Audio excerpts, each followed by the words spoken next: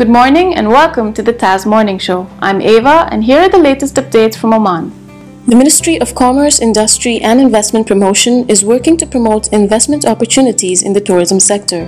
In a statement issued, the ministry said that the volume of investment will be 960 million Omani riyals. The Royal Oman Police is making all efforts to facilitate the movement of passengers through the Sultanate of Oman's airports during the Khareef festival. The ROP said that it will provide all support, cooperation and facilities to visitors to ensure the safety and security of all and to verify all services provided to them.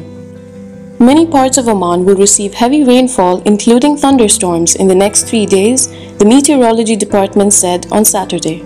In a statement issued, the Oman Met said that the latest weather maps and the analysis of the National Multi-Hazard Early Warning Center indicate that the Sultanate might be affected this week by extensions of low-pressure system advected from India. Thank you for watching the TAS Morning Show. Follow the Arabian stories for the latest updates.